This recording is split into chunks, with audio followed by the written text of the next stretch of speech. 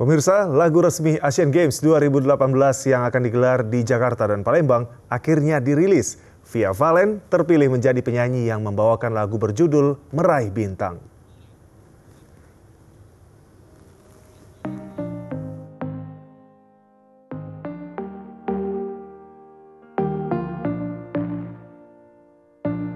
Setiap saat, setiap waktu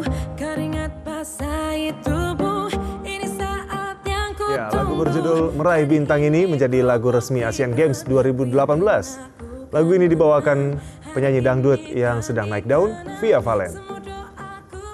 Lagu ini memiliki lirik yang memberi semangat bagi peserta Asian Games dengan mengkombinasikan aransemen dangdut dan elektronik.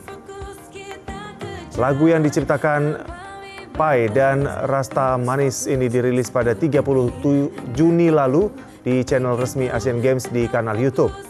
Dalam dua hari, video ini telah dilihat 3 juta penonton dan angkanya terus bertambah.